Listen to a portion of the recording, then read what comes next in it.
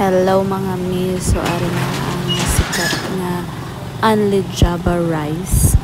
Kag Unli Gravy diri sa city proper. So hindi kami magpaulihigin testingan na namon. Ari subong 6.30 sila nag-open sa gabi. Kay tapos niya gado sila sila para preparation para naman sa gabi. So ari pa lang ang tawo.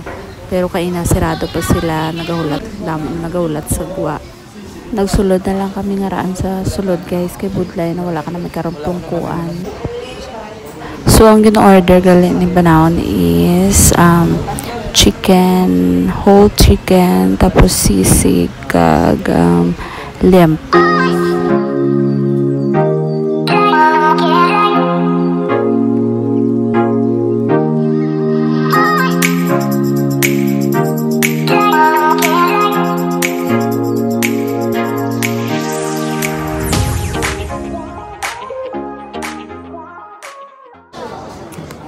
update guys. So ara na. Medyo damo na ang tao damo na. Nagasulod. Ka medyo buta na. Kay medyo gamay lang man ang space pero ang tao guys grabe. Basta magabi ni kami buta makita niyo sa video sa ulihi. Damo na. Mm.